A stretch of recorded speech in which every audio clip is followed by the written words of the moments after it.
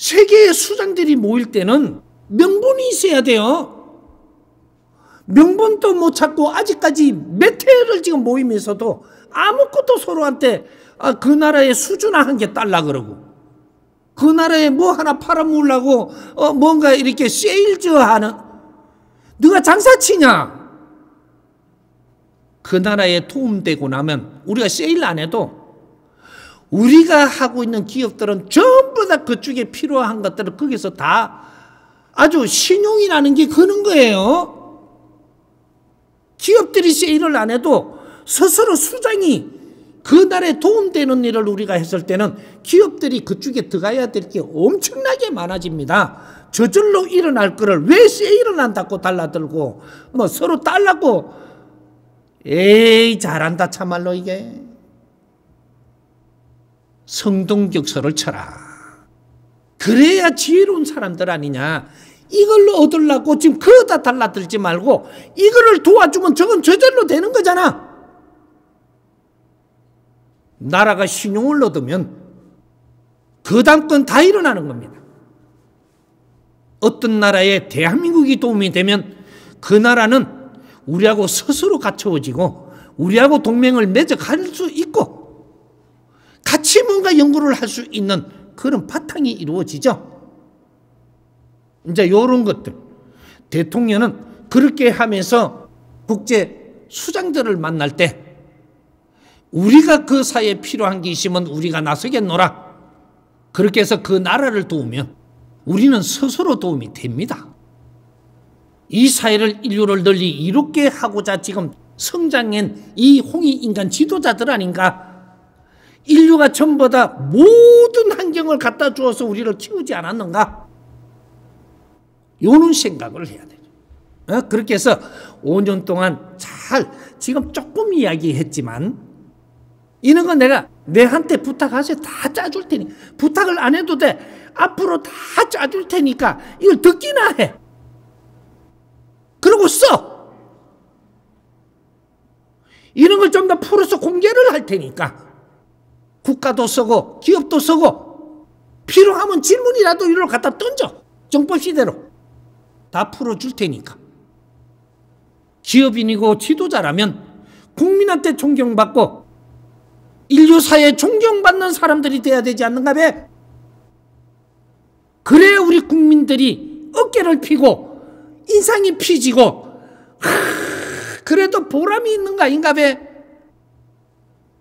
국민을 보람 있게 살게 하는 것은 이 나라에 근심 걱정이 없어지는 겁니다. 보람되게 사는 사람들이 어렵게 산다. 절대 하늘이 그렇게 안 만듭니다. 우리는 인류사의 보람되게 살기 위해서 5천 년을 노력을 하면서 당금질을 키운 그러한 시종입니다. 우리가 우리가 태어나서 초등학교 들어가 글 배우려 그럴 때 너희들한테 아리킨 게 이거는 이거 이러면 안 돼요. 너희들은 민족의 역사적 사명을 띠고 이 땅에 태어났다 하잖아. 조상의 얼을 빛내라고 조상들이 희생한 이 한을 풀어달라. 내 자손들이 인류에 존경받으면 조상의 한이 풀리지 않겠는가? 저마다 소지를 발전시키가. 다 하늘에서 줬다는 얘기입니다. 이 소리가. 발전시키 갖고, 어, 법체를 만들어 자주 독립을 해서 이러한 방법으로 인류 공룡에 이바지할 때라고 채찍을 들고 몽둥이를 들고 성생들이 우리한테 가르친 적이 있습니다. 이게 홍익인간 훈시입니다. 훈시. 훈령.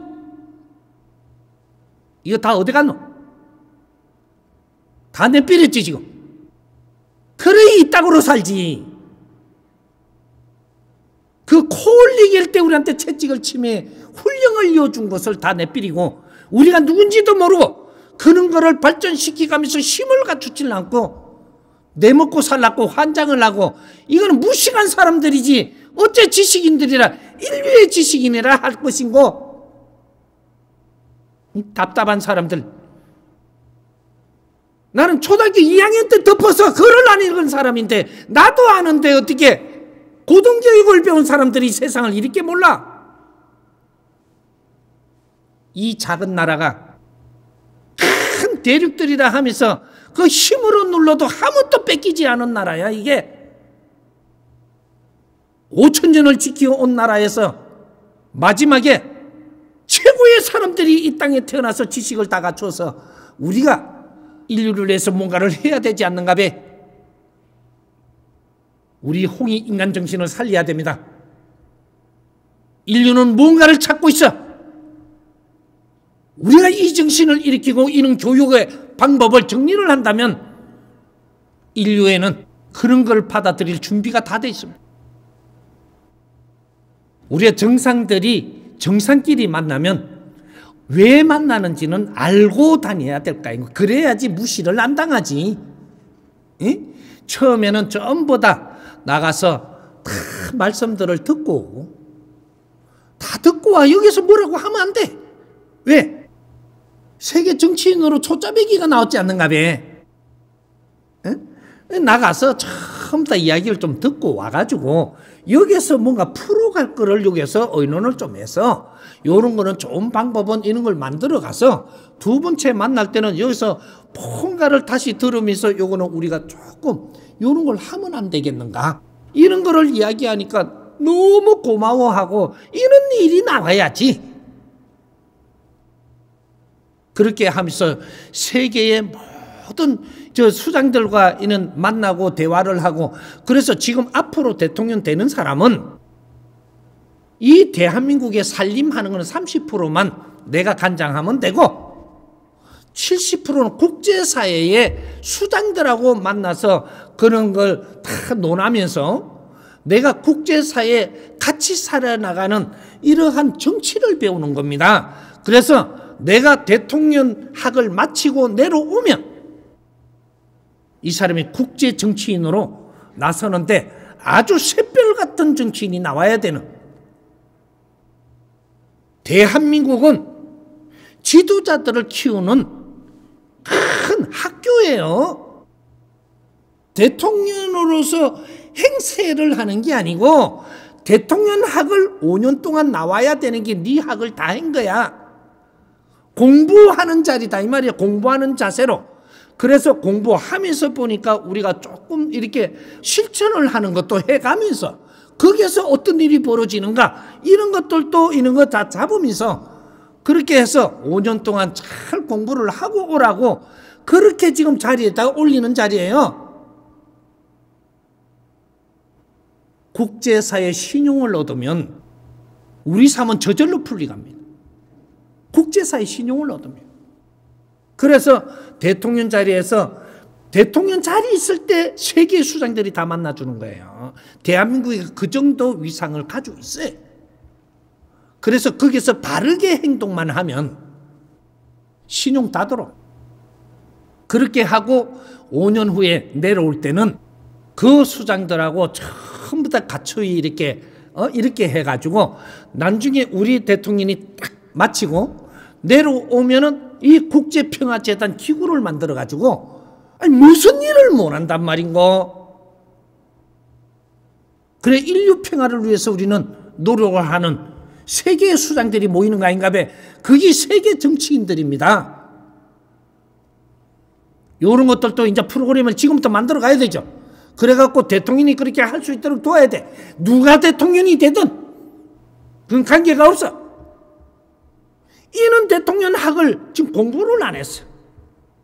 대한민국이 어떤 사이즈고 인류하고 어떻게 연결되게끔 돼 있고 우리가 할 일이 무엇이며 이 대통령 자리는 지금 왜 당신이 대통령 자리를 하고자 하는지 이런 것들을 공부를 안 했어.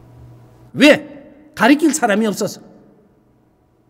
이 사람들이 찾아간 데가 전부 다 불교 대장 찾아가고 기독교 대장 찾아가고 어 전부 다 어, 무슨 박사 찾아가 그런 데서 이거 안 나와요.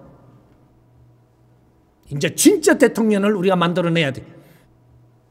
이 대한민국 주인들 아닌가 봐. 국민들이 대통령을 만드는 것이지. 대통령 혼자 잘난 것이 아니야. 앞으로 우리가 국민들이 대통령을 만들어낼 거니까. 우리 같이 노력합시다.